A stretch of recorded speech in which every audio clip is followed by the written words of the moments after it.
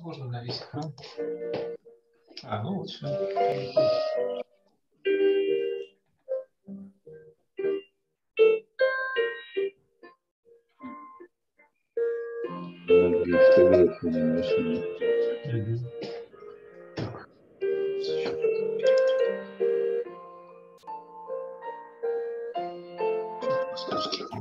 Русский, что еще?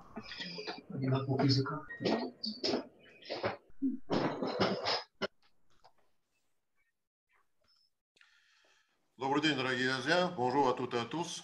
Э, Меня зовут Константин Волков, я директор Русского дома науки и культуры в Париже. Э, Je m'appelle Constantin Volkov, je suis directeur de la Maison russe de la science et de la culture à Paris. Э, Я рад вас приветствовать в нашем доме. Je suis très heureux de vous souhaiter la bienvenue à la maison. И хотел бы сначала обратиться к нашей а, франкоязычной публике, чтобы рассказать, каким образом можно пользоваться синхронным переводом. Et comme d'habitude, je tiens à m'adresser à, à nos spectateurs francophones pour signaler que la fonction de l'interprétation simultanée est opérationnelle, est opérationnelle pendant toute cette conférence. Euh, Pour en bénéficier, euh, vous pouvez trouver des boutons en bas et à droite de l'écran, derrière le petit globe, qui vous permettent euh, à faire la sélection entre les chaînes russes et françaises. Je crois que vous, vous trouvez tout ce qu'il faut и vous allez nous suivre avec plaisir. Итак, я перехожу на, на часть приветствия, дорогие друзья.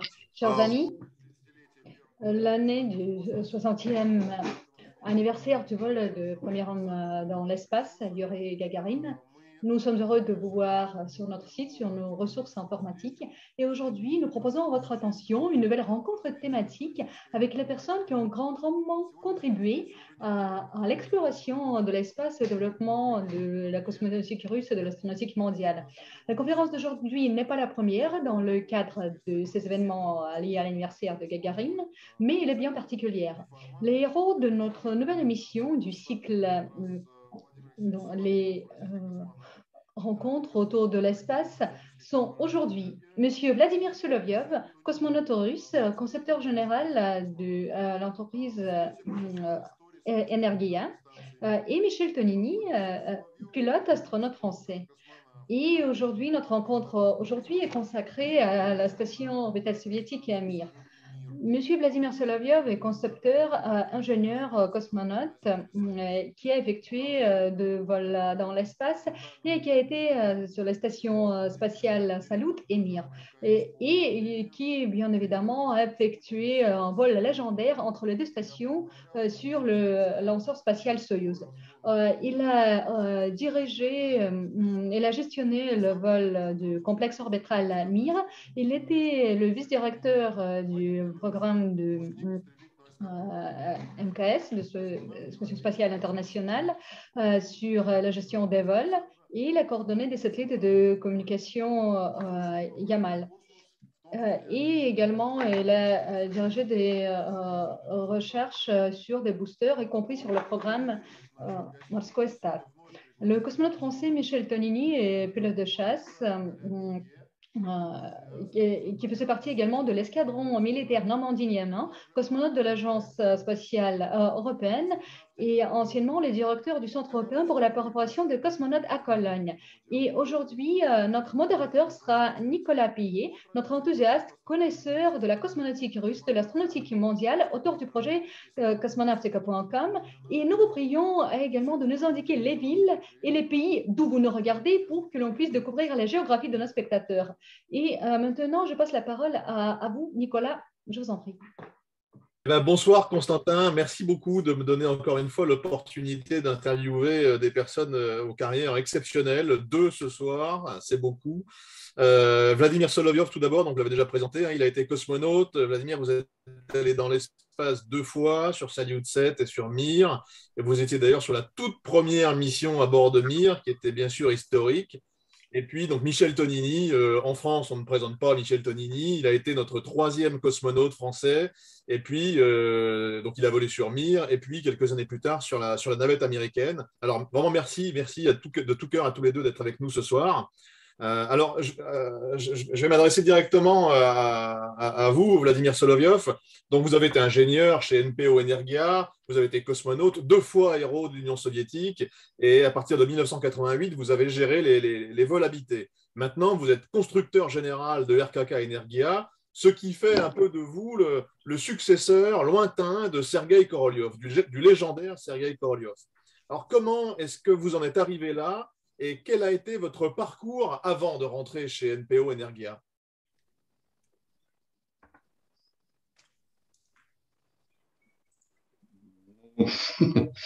Я бы так сказал, Э, во-первых, сравнить меня с Королевым – это слишком. On ne peut pas me comparer peut-être à Sergei Korolov. Euh, pour nous, vous voyez, c'est la personne principale unique au monde. Mais je vais vous raconter quand même mon parcours, euh, comment je suis devenu concepteur, constructeur général. Moi, euh, j'ai bien voulu effectuer des vols dans l'espace, faire quelque chose, apporter ma contribution pour des vols spatiaux. Donc, c'est plutôt mon parcours. Euh, il m'a mené euh, comme ça vers RKK Energia. Je n'y ai jamais pensé, mais c'est comme ça. Merci beaucoup. Alors, votre, votre première euh, affectation pour, pour voler s'est faite sur une mission que nous, en France, nous connaissons très bien, puisque c'était la, première mission d'un cosmonaute français. C'était en 1982 et vous étiez dans l'équipage de réserve avec Patrick Baudry. C'était la première fois que des Occidentaux volaient sur un Soyouz. Et alors, racontez-nous comment s'est passé, euh, passé l'entraînement et comment s'est passée la, collaboration entre les Soviétiques et les Français, euh, sachant qu'on était encore en pleine guerre froide. Euh, Patrick Baudry a, dit souvent dans des interviews qu'il était en Union soviétique souvent considéré comme un espion.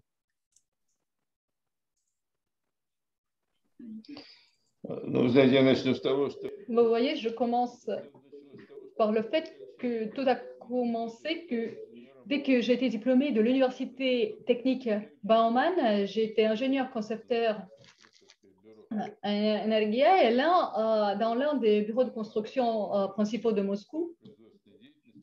Et puis après euh, donc cette société de recherche de production, production, j'ai pensé quand même à effectuer un vrai vol dans l'espace pour voir comment ces constructions sont mises en œuvre, ce que j'ai vu dans les sociétés de recherche de production. Est-ce que c'est vrai que dans l'espace, c'est euh, bien conceptionné euh, donc, moi, j'ai choisi ma voie euh, de cosmonaute. La première fois, pour moi, c'était un échec parce qu'on m'a posé des questions sur ma santé, que quand j'ai eu des soucis donc, au niveau de gorge et ils m'ont proposé même de hum, faire l'opération sur mes glandes.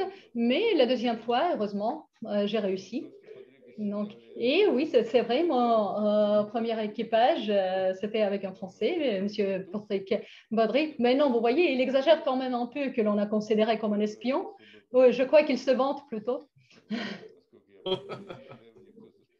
Non, en effet, je vous assure qu'il n'a été jamais considéré comme un espion. C'était un gars très sympathique. On a passé beaucoup de temps ensemble. Euh, on a beaucoup euh, entraîné ensemble. On a joué aussi euh, au foot ensemble. On a fait du sport ensemble. On a joué au squash aussi.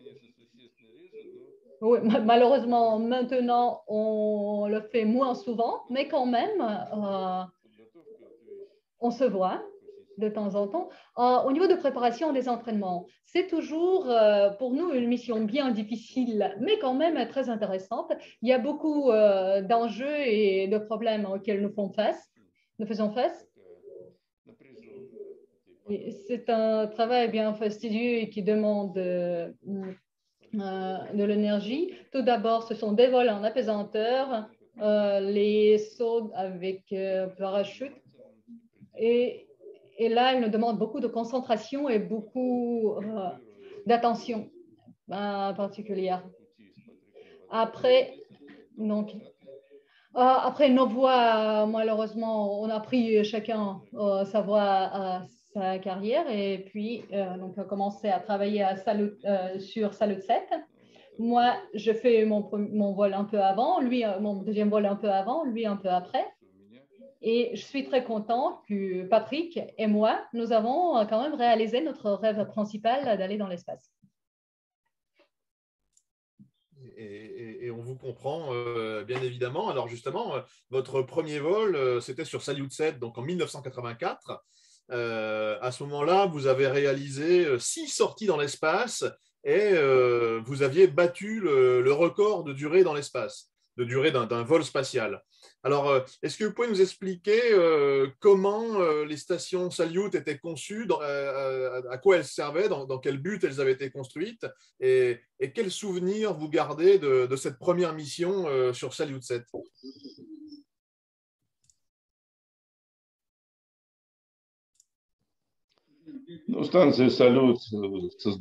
La station euh, cette station, tout d'abord, a été conçue uniquement comme une station purement scientifique. Il y en avait beaucoup, Salut 1, Salut 2, Salut 4. Il y avait des stations euh, qui, n'ont pas réussi. Sur d'autres stations, euh, il y avait beaucoup de vols. Il y avait beaucoup d'expériences bien réussies. après la station avec euh, une seule, un seul amarrage, Donc, il y avait des stations comme Salut 6 ou Salut 7. Et puis, on, pourra euh, faire, euh, charger un peu plus. puis, on avait des expéditions de visite. après, nous avons hum, créé un système, nous avons réussi à créer un système de réapprovisionnement, de, ravitaillement dans l'espace. Euh, nous avons réussi à créer donc, le vaisseau de cargo Progrès, euh, qui a réussi à prendre de euh, un demi tonne dans, dans l'espace. donc pour moi, c'était une nouvelle tâche bien intéressante. Et je demandais notre euh, concepteur général, à l'époque c'était Valentin Glushko, pour euh, vérifier à, quel point ce système de ravitaillement euh, fonctionne, s'il fonctionne bien, comme elle a été créée premièrement en Union soviétique. Et en plus, ma première sortie extravéhiculaire, donc moi, en gros, j'en ai eu six et euh, les sorties donc, euh, sur la station euh, Salut 7, ils ont été consacrés plutôt, donc vous voyez, au système et à la correction de ce système de ravitaillement avec du carburant. Il y a aussi, on a travaillé aussi sur l'augmentation de l'espace des batteries solaires. En plus, on a réparé aussi les appareils liés toujours à ce système de euh, ravitaillement. Malgré le fait que le vol durait presque huit mois, il était bien dense et bien intéressant. On avait beaucoup d'activités hors euh, activités liées sur, le, euh, sur des vaisseaux. Donc, tout, tout s'est bien passé. Pour nous, ces huit mois étaient très intéressants et très riches au niveau de l'expérience. Et alors, euh, à peine un an après ce, vol sur Salyut 7, vous avez réalisé une autre mission euh, qui a été historique, puisque c'était le, premier vol à bord de la station Mir en 1986. Euh, et vous ne vous êtes pas arrêté là, puisque avec Leonid Denisovich Kizim, vous avez pris votre vaisseau Soyuz et vous avez volé depuis la station Mir jusqu'à la station Salyut 7. C'était la première fois qu'on faisait ça, et d'ailleurs, ça n'a jamais été refait euh, depuis. Alors, euh, euh, racontez-nous, s'il vous plaît, ce, vol à la fois sur, sur Mir et sur Salyut 7. Sur, sur 7. d'ailleurs, pourquoi est-ce que vous avez fait cet aller-retour d'une station à une autre, et, comment est-ce que vous vous y êtes pris?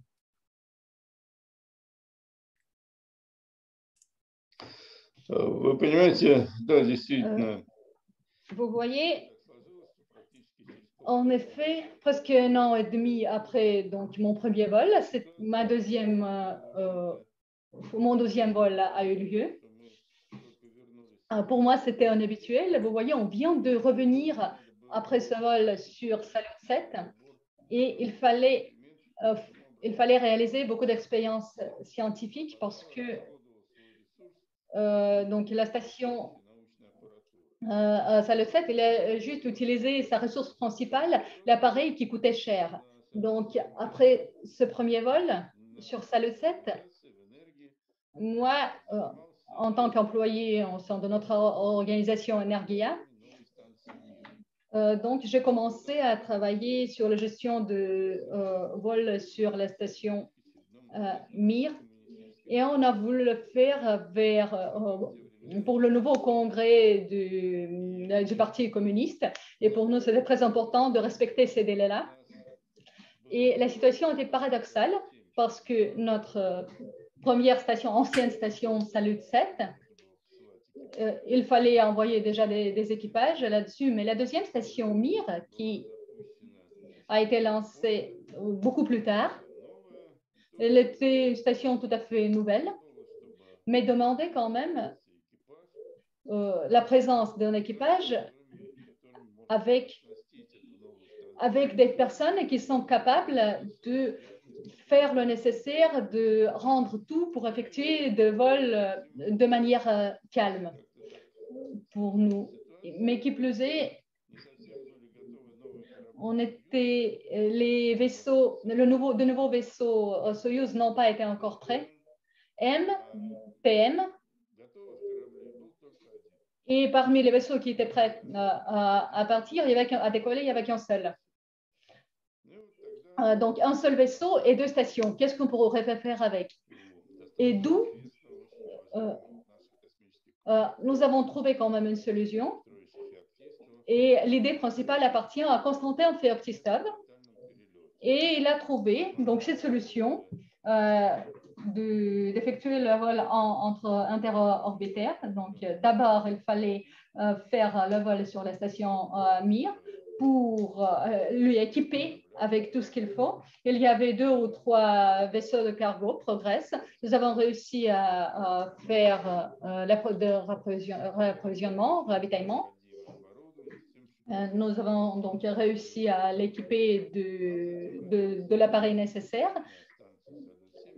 Et puis, nous, avons décidé d'effectuer euh, le vol jusqu'à Salut 7 pour continuer tout sur cet appareil euh, bien cher. Parce que notre équipage, Léonide Kizim et moi, nous venons de rentrer euh, de la station Salut 7. Nous l'avons déjà, nous, avons tout appris et nous avons connu jusqu'à tout petit détail comme je vous ai expliqué sur Salut 7, moi, je, euh, je la connaissais déjà. Et euh, pour la station Mir, je fais toutes les expériences sur le sol, sur terre. Et en notre équipage, on nous a proposé, comme que, nous deux, nous avons connu bien les deux stations, donc on nous a proposé d'effectuer dans le même équipage, de faire euh, un vol sur ces deux stations le 13 mars sur le vaisseau Soyuz euh, le sol pour les deux stations, unique pour les deux stations. Nos ingénieurs et nos scientifiques ont, fait tout pour que Soyuz, soit bien adapté sur les deux stations. Tout d'abord, euh, nous avons volé euh, vers la station Mir. Puis la station, on a fait quelques vaisseaux de cargo. Il y avait maintenant assez de carburant tous les systèmes fonctionnaient bien, la navigation, l'orientation, la communication euh, avec la Terre, tous les systèmes fonctionnaient bien. Et puis, on a changé. Donc, euh, et sur euh, Soyuz, cela nous a pris deux jours. Nous avons réussi à atteindre la station Salut 7. Ce vol était assez compliqué pour nous il a demandé euh, des calculs balistiques bien précis, euh, de maîtrise, euh, de maîtrise de cosmonaute chez mon collègue Léonid Kizim, qui était un pilote exceptionnel. Là, donc, a été une réussite et il y avait deux, deux appareils scientifiques qu'on a réussi à installer. Et la première sortie extravéhiculaire a eu, a eu lieu.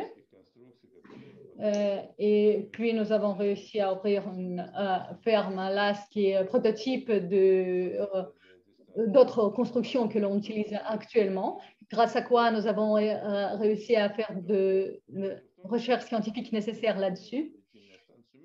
Il était prévu d'abord que nous roulions sur Mir et puis à une seule reprise faisions un vol vers Salut 7, mais mais Valérie Remin, pilote cosmonaute, que vous connaissez très bien, je crois, qui a été le directeur, qui a dirigé euh, ce vol à l'époque, il, nous a dit que le niveau de pilotage était très bon lorsque euh, vous êtes reparti de la station Mir. Vous avez réussi à accumuler beaucoup de carburant. Est-ce que euh, pour vous, cela ne pose pas de problème de revenir de Salut 7 vers la station Mir de nouveau?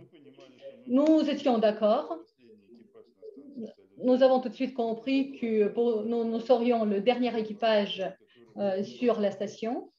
Pour cette raison, euh, notre tâche euh, principale, il nous a fallu de prendre tout l'équipement qui pourrait être nécessaire après sur la station Mir, de prendre avec nous. Nous avons pris tout ce qu'il fallait. Et en fait, le volume de cet équipement, même au niveau de taille, il elle était beaucoup plus grand que prévu. parce qu'on comprenait bien que ça 7 euh, euh, probablement ne fonctionnerait plus.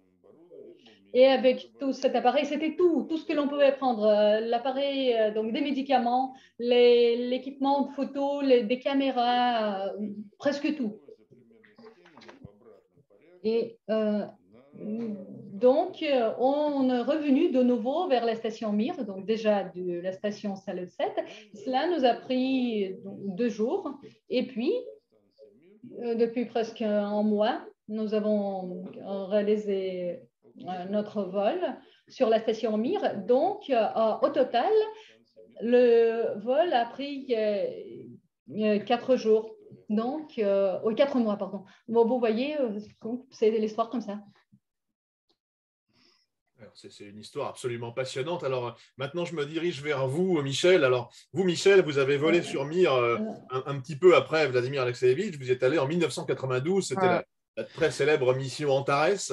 Alors, euh, est-ce que vous pouvez nous dire quel souvenir vous gardez de, cette mission Antares? Comment est-ce que vous avez trouvé la station Mir?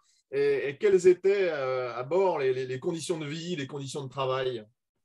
Alors, la, station Mir, j'y suis allé en 92, mais après un entraînement que j'avais commencé en 86, donc j'ai fait deux entraînements, un pour la mission Antares, où j'étais remplaçant de Jean-Loup Chrétien, et après j'étais euh, numéro un sur la mission euh, euh, Antares. Enfin, j'étais d'abord Aragats numéro 2, puis après Antares numéro 1. quand je suis arrivé dans la station Mir, d'abord, on y va après un voyage en Soyouz qui durait à l'époque deux jours, donc deux jours en Soyouz, avec un décollage extrêmement impressionnant le premier décollage est toujours très impressionnant, bien sûr, surtout euh, surpris par la, poussée euh, de, 4G qui était, euh, longue pour arriver à, la vitesse fatidique de, 28 000 km à l'heure pour tourner autour de la Terre.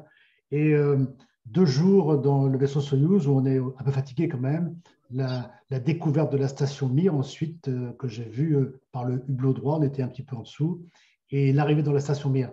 Il faut vous dire que lorsque vous avez passé deux jours dans le Soyuz, qui est quand même assez petit, euh, et que vous allez dans la station, j'ai eu un sentiment de, grand air, de bon air, de propreté, d'une station jolie. Et, euh, j'ai beaucoup aimé euh, l'arrivée dans la station. On était fatigué et dans la manœuvre de rapprochement de la station, euh, il y a des moments où les contrôleurs donnent des informations au vaisseau Soyuz, des moments où l'équipage du Soyuz va parler, des moments où l'équipage de la station Mir va parler. Et euh, euh, dans, la, dans la station Mir, il y avait Viktorienko et Kaleri, et dans le vaisseau Soyuz, il y avait Adveyev et Salaviov, Anatoly Salaviov, hein, l'autre Salaviov.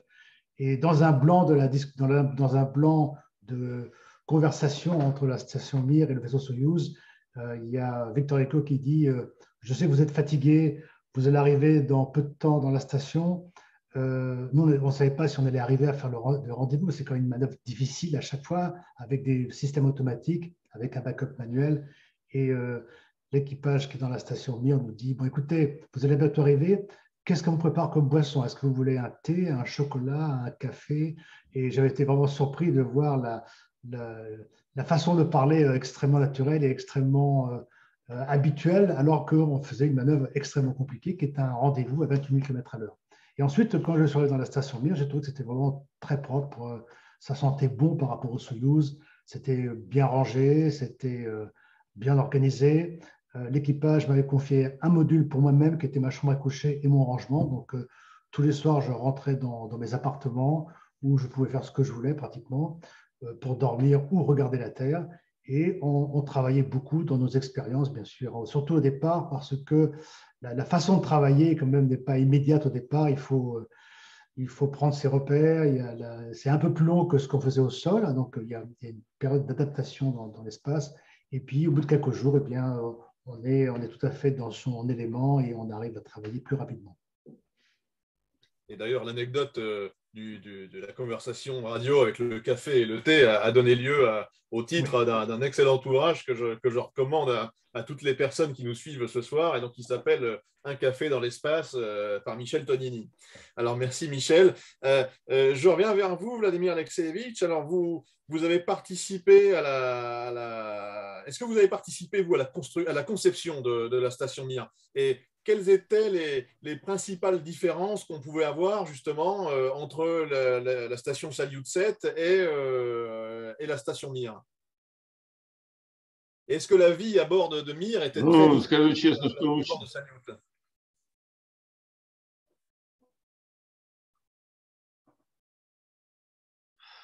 Ну, скажу откровенно, что в создании станции «Мир» я принимал участие. Participé à, la création de la station Mir euh, pendant un an et demi, deux ans. Avant, je m'étais occupé des stations Salut, je me préparais au vol et j'avais beaucoup passé de temps à la Cité des Étoiles et moins au sein d'Energia. Mais euh, oui, je connaissais bien cette station. Euh, la station Mir, euh, il y avait beaucoup de différences avec la station Salut. bien sûr, c'était une station beaucoup plus sûre. Il y avait beaucoup de systèmes qui étaient des systèmes de réserve. c'était une station beaucoup plus intellectuelle, beaucoup plus smart.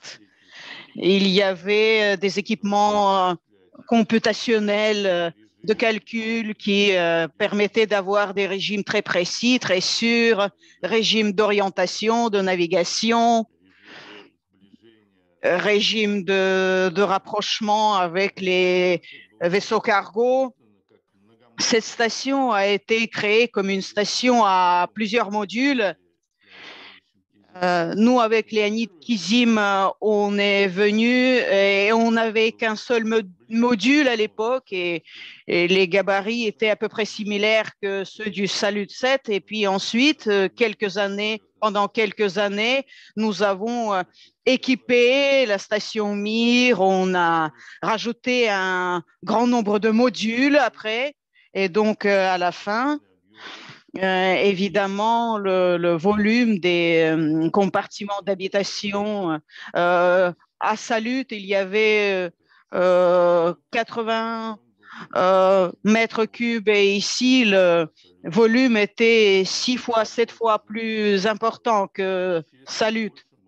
Et plus il y a de volume habitable, donc plus on peut placer d'équipements scientifiques, de choses utiles et euh, plus on peut mener d'expériences utiles, expériences scientifiques. Donc, euh, cette station Mir était très différente hein, de Salut et elle était meilleure, nettement meilleure. Les conditions de travail, en tout cas les conditions de vie à bord de cette station,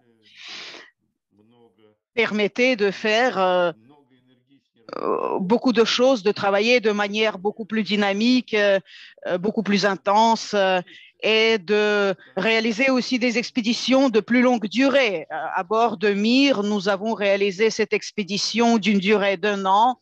Et puis ensuite, notre médecin cosmonaute Valérie Polakov a passé un an et demi hein, à bord de cette station hein, sans interruption. Il est revenu euh, bon pied, bon oeil, euh, en bonne santé. Euh.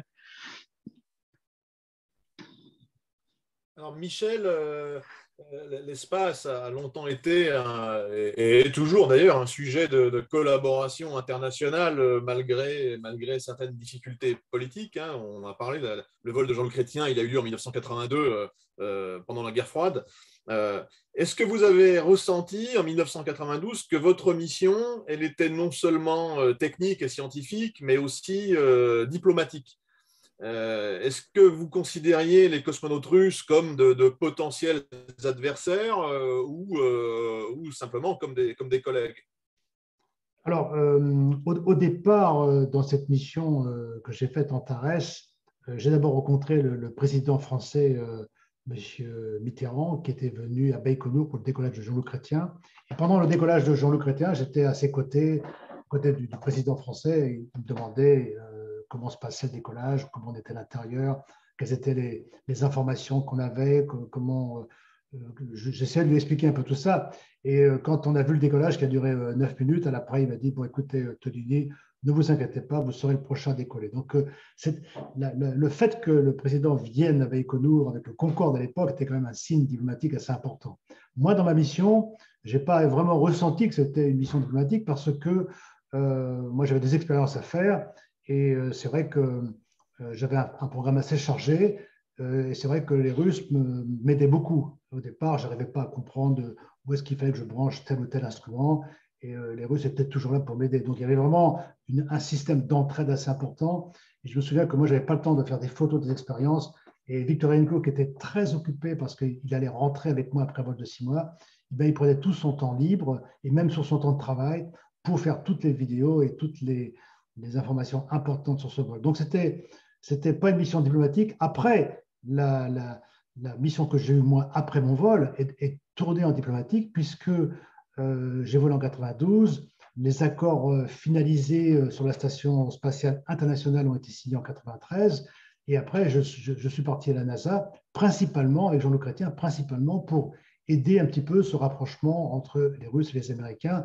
Et c'est vrai que quand je suis arrivé à la NASA, je me souviens très très bien que certains professeurs nous disaient, professeurs américains, nous disaient, cette station avec les Russes, on n'y croit pas trop, c'est pas vraiment quelque chose euh, qu'on va pousser et je pense que ça se fera pas. Donc, euh, Chrétien et moi, on était un peu à la NASA comme euh, donneurs de, bonnes paroles et c'est vrai que tous les jours, les, Américains nous posaient des questions sur cette expérience avec les Russes parce qu'ils voulaient savoir si vraiment c'était faisable ou pas. Et donc, moi, j'ai vraiment, vraiment œuvré, j'ai donné tout mon cœur pour expliquer que c'était une coopération que l'on voyait d'un œil extrêmement favorable. Alors, c'est vrai que les, les, pardon, les, les, gens dans la station spatiale, comme Victor Enko, étaient un pilote de chasse comme moi, et moi j'étais un pilote de chasse comme lui. On a dû, euh, on a dû euh, être sur des, des territoires euh, de concurrence militaire à un moment donné. Mais lorsqu'on est là-haut, on oublie tout ça. On a, on a, il, y a, un sentiment qui a été rapporté par beaucoup d'astronautes, c'est que lorsque vous êtes sur Terre, on voit les cartes de la Terre avec des frontières qui sont des frontières horizontales. Mais dès qu'on est dans l'espace, la, seule frontière qui existe, c'est la frontière noire entre, entre la Terre, l'atmosphère et le, et le noir infini, le noir sidéral. Et donc, euh, on, est tous, on est tous dans, le même, euh, dans le même bateau, dans la même station spatiale à, remplir la même mission. Et il n'y a plus de différence de pays. On est tous euh, frères, il y a une fraternité, une confraternité spatiale. Alors, vous avez dû apprendre le russe pour pouvoir voler. Euh, pendant la mission à bord du Soyuz et à bord de Mir, euh, les échanges se faisaient tous en russe? Oui. Alors, le, russe, si vous voulez, euh, c'est Vladimir qui m'a dit ça. c'est compliqué les 25 premières années. Après, c'est facile. oui, il avait bien raison. Donc, au début, je pensais que j'allais jamais y arriver. mais les Russes me disaient Paftarenie, Matuceni, donc ils m'ont dit répète, répète, et à force tu vas y arriver. Et effectivement, au début, on, croit qu'on n'y arrivera jamais, mais c'était à coup de 6 heures, 8 heures de russe par jour. Donc, euh, c'était assez exténuant quand même au départ. Et puis après, un jour, un jour, on arrive à faire une phrase. les Russes vous regardent et ils vous comprennent et ils vous répondent en russe. Et là, vous avez compris que vous, êtes, vous avez la confiance dans votre façon de parler russe. Et après, c'est une langue qui est tellement dure à apprendre qu'on ne peut plus l'oublier. J'imagine. Alors, Vladimir Alexeyevitch, euh, on a beaucoup parlé du, passé. Euh, je vous propose de parler un petit peu de, l'avenir. On parle beaucoup de, de, la, station, euh, de la station Ross. Euh, le projet de station Ross pour remplacer la, station spatiale internationale. Alors, est-ce que vous pouvez nous, nous, parler un petit peu de, cette station, euh, en quoi elle sera différente de la station internationale, et, si vous pensez qu'elle que, existera un jour, ou si c'est juste, euh, si juste une idée?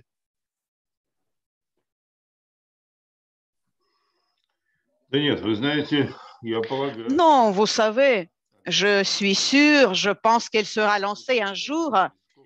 Et je pense, euh, je ne sais pas dans quel, euh, quand, quand elle sera lancée. Peut-être en 2027-2028, peut-être. Mais ça fait longtemps qu'on travaille euh, dessus. notre société Energia, au sein de notre société, nous nous occupons de la création d'une nouvelle station orbitale et c'est tout à fait naturel, il faut avancer. Et c'est un désir euh, de créer euh, dans cet espace euh, hostile, agressif, un désir de créer quelque chose de nouveau, un équipement nouveau, plus sophistiqué, plus sûr. Et ça fait deux ans qu'on propose cette nouvelle station de manière active euh, au sein de différents cercles, au niveau du gouvernement, au niveau de l'agence euh, spatiale russe, euh, pour la société Roscosmos, justement, on propose ça et nous voudrions faire en, faire, en sorte que cette station soit basée sur des principes nouveaux. Cela doit être une construction ouverte à modules et nous voudrions faire en sorte que cette station soit une station de base, en quelque sorte. Et il faut qu'elle ait la possibilité euh, euh, de lancer elle-même des appareils automatiques euh, sur différentes orbites qui, après, après avoir servi, pourrait être euh, ravitaillé. Et je voudrais faire cela parce que j'ai toujours, je me suis toujours occupé de ravitaillement, ces questions de ravitaillement. Et donc, il faut que ça serve bien. Il faut que ce système serve pour d'autres stations orbitales. Et une autre circonstance, la Russie est un pays nordique. Et euh, ce qu'on voudrait faire, et je pense que c'est important d'étudier ça, étudier nos régions du Nord et euh, euh, faire des recherches depuis l'espace, faire euh, de la télédétection là où il y a ces régions polaires. Et actuellement, l'angle d'inclinaison entre l'équateur et l'orbite, alors on n'a que 51 degrés de euh, latitude nord et sud. Et donc, euh, actuellement, on ne peut observer que 15-20% du territoire de la Russie. C'est très peu et c'est dommageable. Et ce qu'on voudrait, c'est euh, voir le plus souvent de l'espace ces régions polaires, la toundra, ces régions qui sont riches en, hum, euh, hydrocarbures. Euh, on a beaucoup de, euh, d'entreprises industrielles qui sont là. Et donc, on voudrait utiliser ces orbites polaires, ces orbites héliosynchrones, et cela permettrait de, d'observer beaucoup de choses. Il faut euh, des angles spéciaux d'inclinaison qui permettraient d'observer de, toute la Terre. il y a beaucoup de processus intéressants qui se passent non seulement dans l'Arctique, mais aussi dans l'Antarctique. Et euh, on sait qu'il y a le réchauffement climatique et beaucoup de spécialistes météorologues disent que l'Arctique et l'Antarctique, même plus l'Arctique, c'est une sorte de, euh, c'est une source qui influe sur le changement climatique et il faudrait voir depuis l'espace ces territoires au-dessus desquels on n'a jamais volé. Les, stations orbitales n'avaient jamais volé. Les orbites les plus hautes euh, atteintes par nos vaisseaux et euh, les vaisseaux de la NASA, c'est euh, de l'ordre 60 degrés, un peu plus peut-être, que l'angle où est placée l'ISS. Donc, il faut, et on essaie de créer. Euh, donc, on est, au stade de projet, hein, on a des, des, documentations techniques, mais on voudrait que cette station orbitale russe euh, vole un jour, soit lancée Et alors d'ici là, euh, euh, il y a eu récemment une euh... réussite dans le, dans le, programme spatial russe, puisque vous avez réussi à, lancer et à amarrer à la station internationale le module Nauka. Je le vois d'ailleurs sur la fiche euh, juste derrière vous. alors, est-ce que vous pouvez nous parler un peu du, module Nauka et nous expliquer à quoi il sert et, et, et ce qui va permettre d'ajouter à la station spatiale internationale?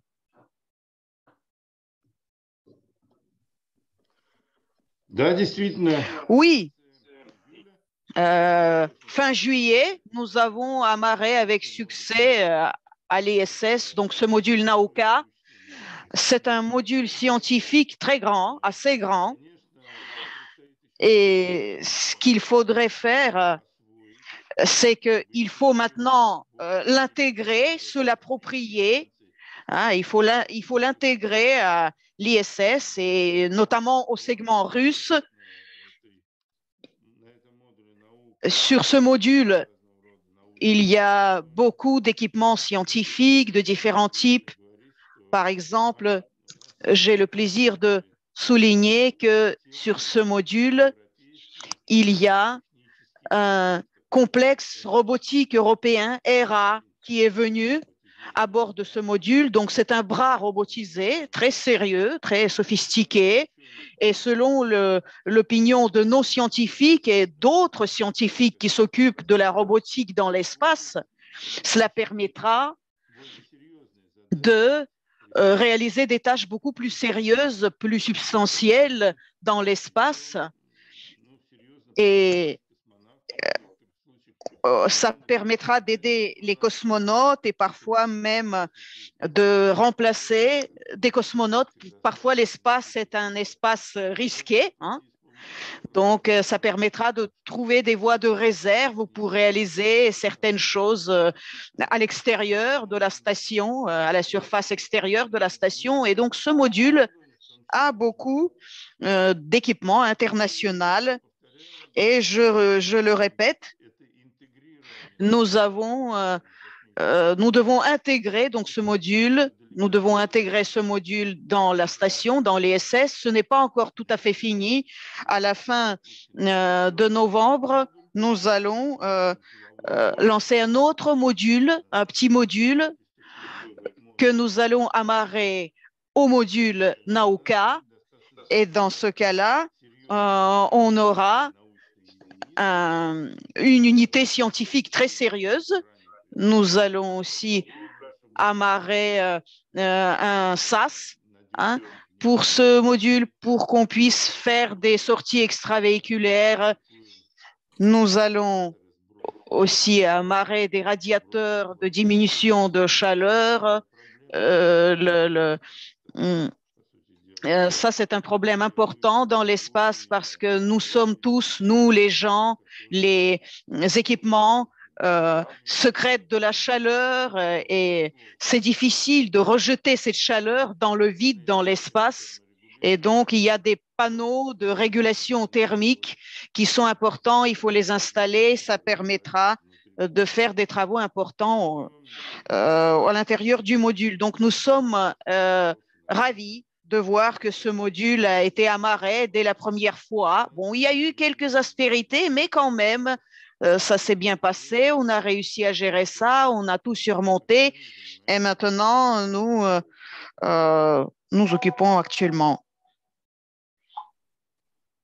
Et alors, il y a un autre projet dont on parle, dont on parle beaucoup, c'est le, le, vaisseau russe euh, Oriol. Euh, alors, est-ce que vous pouvez nous, nous, donner un peu quelques informations sur, euh, sur le développement d'Oriol? Où est-ce qu'on en est dans la, dans, la construction de, de, ce nouveau vaisseau? Et est-ce que vous pensez qu'un jour, on pourra voir un, cosmonaute russe marcher sur la Lune après avoir voyagé dans un, dans un vaisseau Oriol?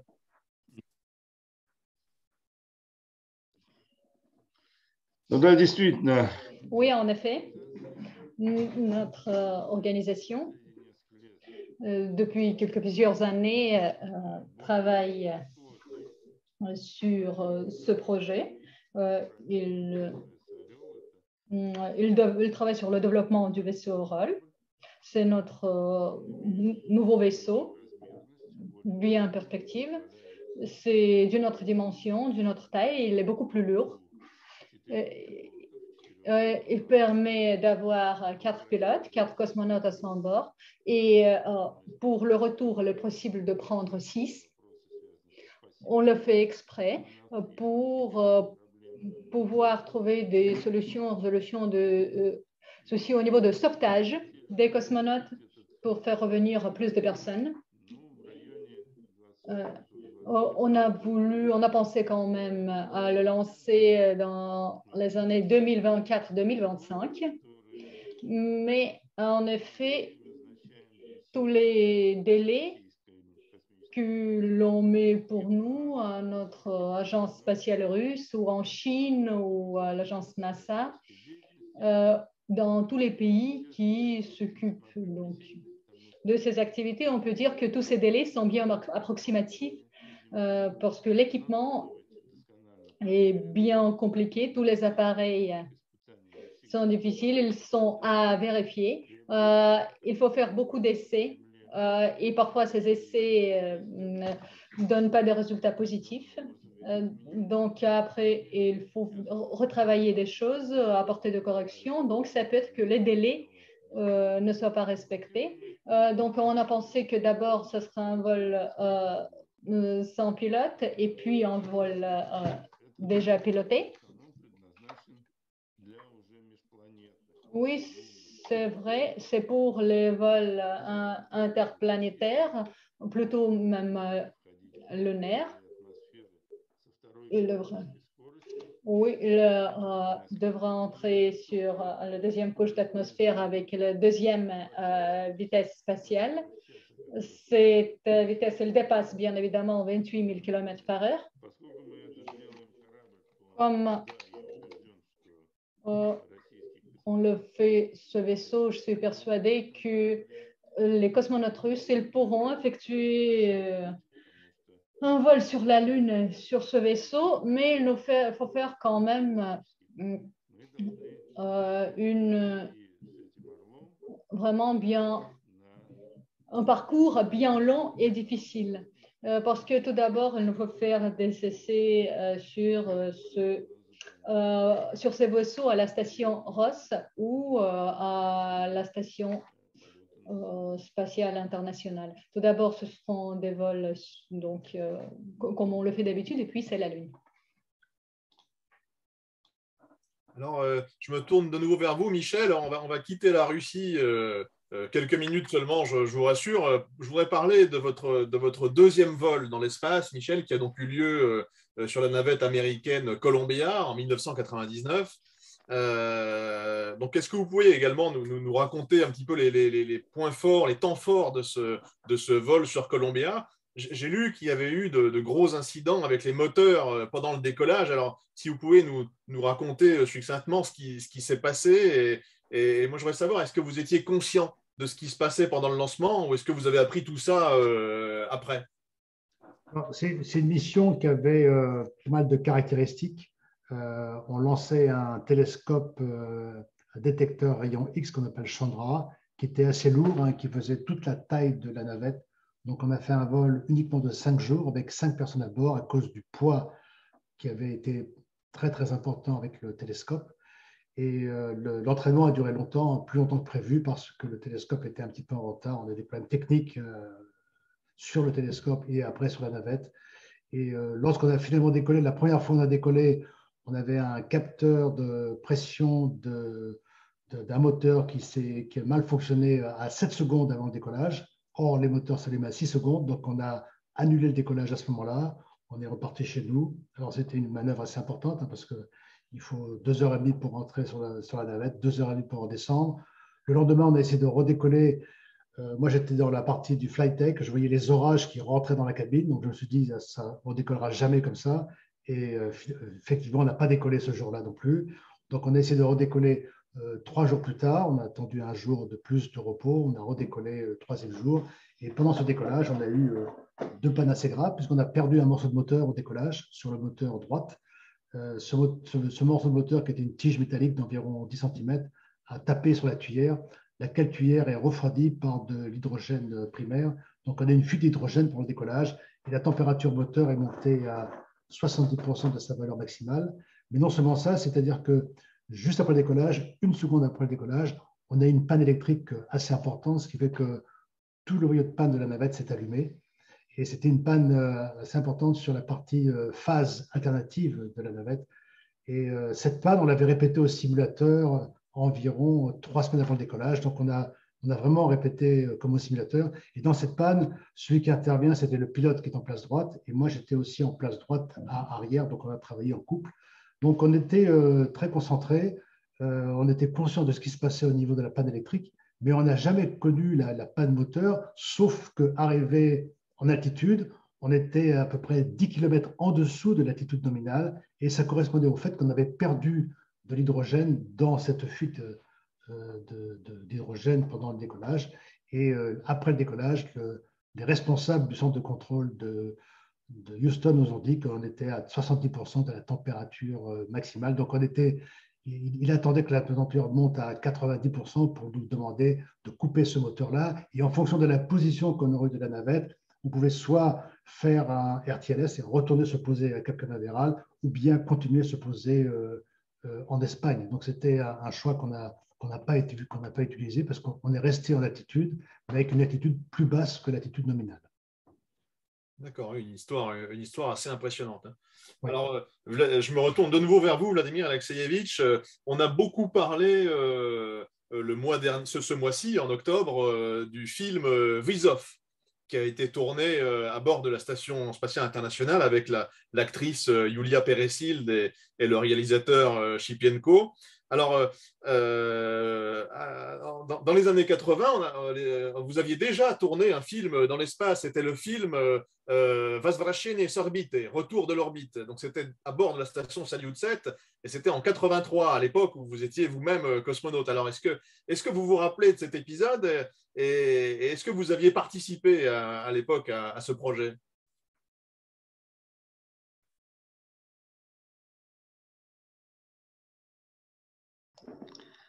Я не очень понял, этот вопрос ко мне. Но вы знаете, у меня отношение к фильму, у меня отношение к фильму «Салют-7» в высшей степени негативное. Дело... Вопрос был по фильму «Возвращение с орбиты». «Возвращение с орбиты». степени реальным событиям. Du coup, elle parle du film, Nicolas n'a pas compris, il parle du film Salut 7. Et il n'aime pas le film. Elle n'a pas le film. Euh, parce qu'en en fait, tout ce qui se passe dans ce film ne correspond pas du tout à la réalité. Et de faire euh, réparer, par exemple, le capteur euh, avec n'importe quel appareil, c'est n'importe quoi. Et en tout ce qui concerne le film Breeze, on va voir ce que ça va donner. Pour l'instant, je ne peux rien dire. On va voir ce que ça va donner. Mais si vous voulez, vous pouvez reposer la question sur le film dans les années 80. Oui, Vladimir Alexeevich, donc vous, vous, parlez effectivement du film euh, Salyut 7, mais alors euh, euh, moi je pensais à un autre film qui, avait, qui, a été réalisé donc en 1983, et donc à l'époque l'équipage de Liakov et Alexandrov avait tourné des scènes de ce film à bord de Salyut 7. alors, je ne sais pas, peut-être que vous n'étiez pas au courant. Hein. moi, je, demandais justement, ma question était est-ce que vous étiez au courant de ce projet Est-ce que vous, vous y aviez participé? C'était en 83.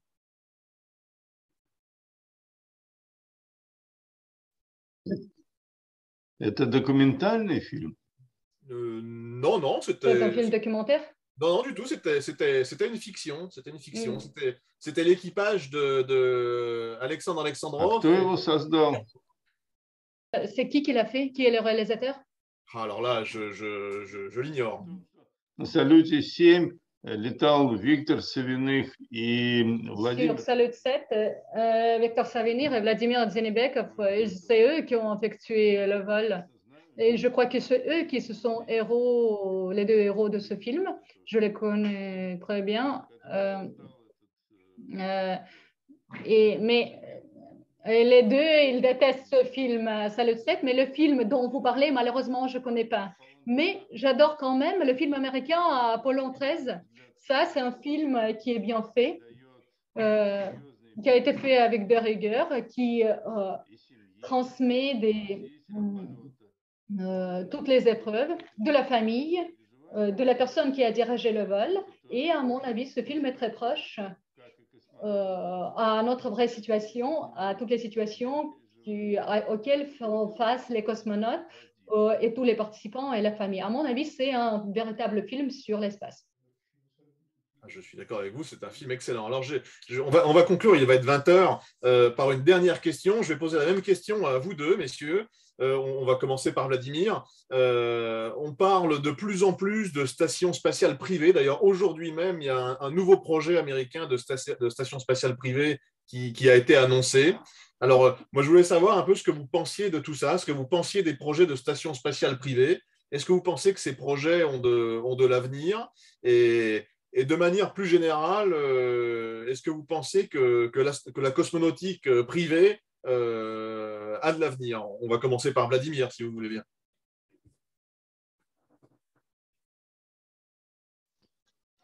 Ну, вы знаете, в общем-то и целом... Vous voyez, à mon avis, euh, à mon avis, la cosmonautique privée, euh, on a déjà des entreprises privées, il existe des. Il y a des, entreprises bien importantes euh, euh, de rigueur. Il y a donc des entreprises qui ne font pas leur travail assez bien, mais quand même pour euh, créer des stations orbitales bien compliquées, là, c'est pas facile pour les entreprises privées. Je crois pas que l'avenir que l'avenir sera pour les entreprises privées, mais plutôt pour l'espace international. À mon avis, il faut bien investir, euh, euh, donc les fonds qu'il faut investir dans les programmes euh, de l'espace, ça, ce ne sont que plusieurs pays qui pourront le faire.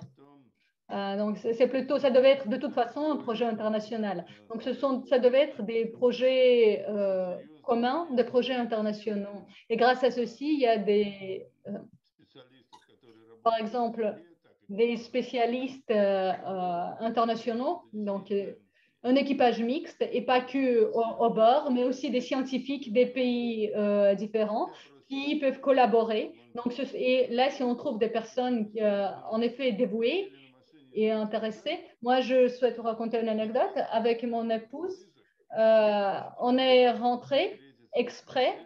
on a terminé notre vacances de ski, de ski alpin. Et je suis revenue exprès pour euh, parler à Michel et Patrick. Et euh, j'ai apporté donc euh, beaucoup, beaucoup d'amendes à Patrick Badry parce que moi j'ai pris la voiture en location et en effet, c'était, elle a été enregistrée sur son compte, sur le compte de Patrick Badry. Et, mais de toute façon, on a organisé euh, beaucoup de euh, conférences de presse ensemble. Je crois que Michel se souvient bien de ces jours de, ce que je raconte. Et vous voyez, c'est en effet euh, mm, ce dévouement. grâce à ceci, nous devenons comme de vrais frères qui s'occupent du même sujet au cœur pour nous tous. Alors, Michel, qu'est-ce que vous pensez de ces projets privés? Alors, euh, quand je regarde le, projet Axiom hein, qui est fait par la NASA, il correspond un petit peu à la feuille de route euh, qui avait été euh, donnée par la NASA, c'est-à-dire laisser les budgets et les projets américains pour le gouvernement, c'est-à-dire l'agence de la NASA, faire la station qui va autour de la Lune, hein, ce qu'on appelle le Gateway, avec l'atterrissage sur la Lune. Mais ce sont des missions courtes et ce sont des missions pour peu d'astronautes. Peu et par contre, la mission, la, la, station Axiom serait une station en orbite basse qui serait au départ rattachée peut-être à la station ISS et après qui partirait toute seule. Et donc, ça permettrait aux Américains d'avoir euh, une station d'orbite basse pour les vols privés, pour les utilisations commerciales, et une station euh, étatique pour l'étude scientifique qui serait autour de la Lune, dont on a besoin pour se poser sur la Lune, mieux étudier le sol lunaire, y aller pour des raisons scientifiques plus importantes, mais aussi euh, étudier, par exemple, les, phénomènes qui nous permettront d'aller sur Mars, comme les radiations et la protection aux radiations. Donc, euh, cette station autour de la Lune, elle a vraiment un sens scientifique assez important. Et cette station Action, elle peut très bien servir euh, à des vols commerciaux pour fabriquer euh, des médicaments, des textiles, de la nanotechnologie, des nouveaux composants électroniques, par exemple, et aussi faire voler des astronautes soit américains, soit en coopération avec les Américains. Donc, c'est un peu une, façon d'aller vers euh, vers euh, l'exploration lointaine qui ira vers, euh, vers Mars ou qui ira vers les astéroïdes. Donc, ce n'est pas impossible de le faire. Maintenant, il faut regarder de façon très précise comment se passe le, financement et l'équilibre budgétaire de ces, de ces stations spatiales, spatiales privées. Est-ce que c'est -ce c'est viable au niveau budget? Et ça, ça, reste encore à démontrer dans les années qui vont venir.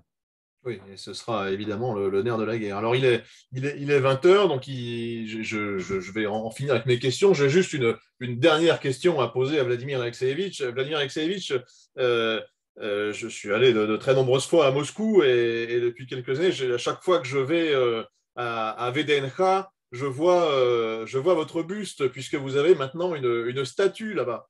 Euh, alors, je, voulais savoir tout simplement si, si, vous arrivez régulièrement euh, d'aller voir votre, votre statue à, Moscou à côté du, musée de la cosmonautique.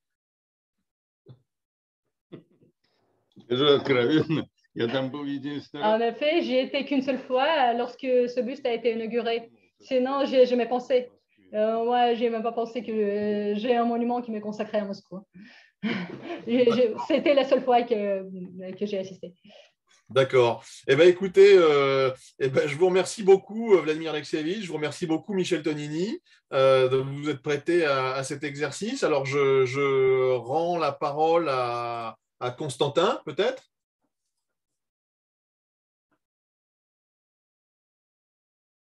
Non, Nicolas, Oui, Nicolas, merci beaucoup. Je tiens à remercier tous nos participants. Moi, je ne euh, vois pas de questions de nos spectateurs que je pourrais poser qui sont bien différentes de ce que j'ai déjà posé comme question. Mais on a beaucoup euh, donc, de spectateurs des pays différents, de l'Italie, de Luxembourg, pas que de France. Puis, il y a beaucoup de villes françaises d'où les spectateurs nous regardent. C'est à Toulouse, à Maison Lafitte, en Ile-de-France, à Strasbourg. Je remercie donc tous nos participants pour leur activité. Puis il y a des jeunes de notre section russe de Saint-Germain-en-Laye qui nous regardent. Je s'en remercie. Je crois que je tiens à remercier, à vous remercier. Euh, la rencontre est très, très intéressante.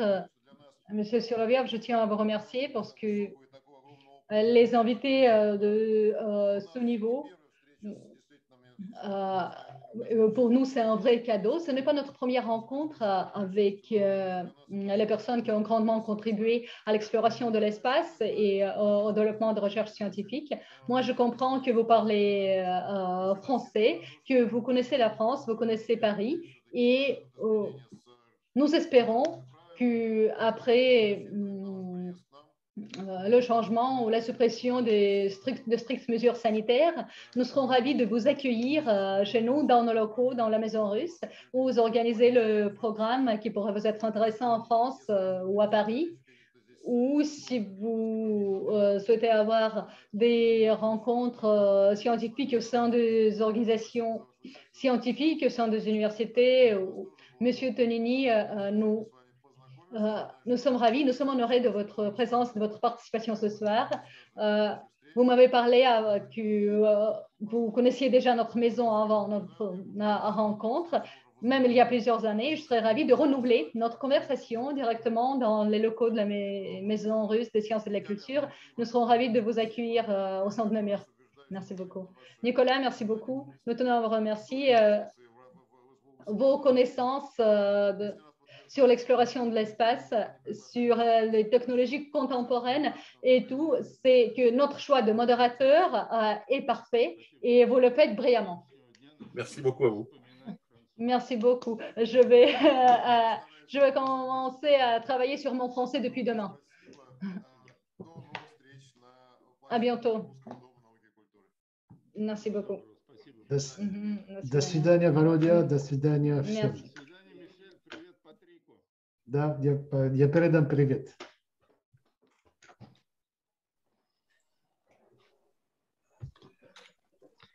Так, включаемся.